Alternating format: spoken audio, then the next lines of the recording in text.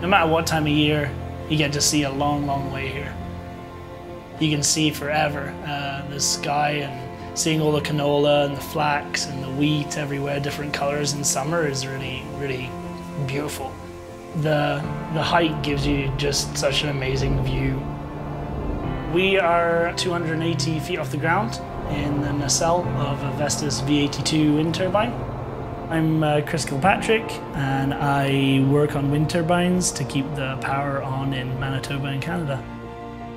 I think a good amount of adventure in your life is, is probably healthy. I moved to Canada. I started off as a rock climbing instructor and then from there I moved to industrial climbing and on wind turbines as well doing blade repair. A lot of people think these, uh, the wind turbines, you turn the key and they just run forever.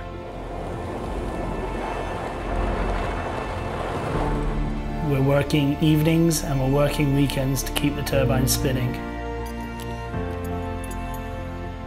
We do a bit of like electrical testing and then we turn into a mechanic and we're doing greasing. It's never the same thing. Uh, one day I'll be troubleshooting and one day I'll be maintaining something. Uh, one day I'll be using a crane to change a part out. So what keeps me up and running is um, being able to provide the clean energy to everybody and also being in a job where I can provide for my family. The thing I'm most proud of is my two girls, Lucy and Matilda. They're uh, active and they're both little chatterboxes. I'm their dad, so I'm kind of biased. So uh, I want both my girls to be adventurous, to be confident, I want them to know that they can do anything that they want to do.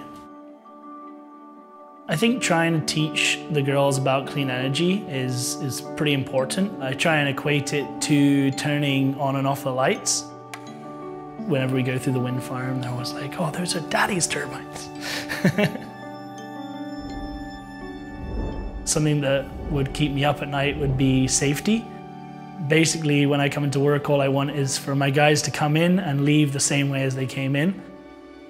Fluke tools help us do our job more safely. Uh, using tools to test that circuit um, before we work on it, it means we can definitely verify and trust that uh, everything's been done properly. It keeps my mind more at rest knowing that I've given them the tools to stay safe at work. Working in the wind industry is a good feeling to know that you're putting something into the planet that's doing it good. When people drive by a wind turbine and see them spinning, I hope they think about how much work uh, a lot of people put into keeping them going and keeping the lights on in their own house. It's the future of energy.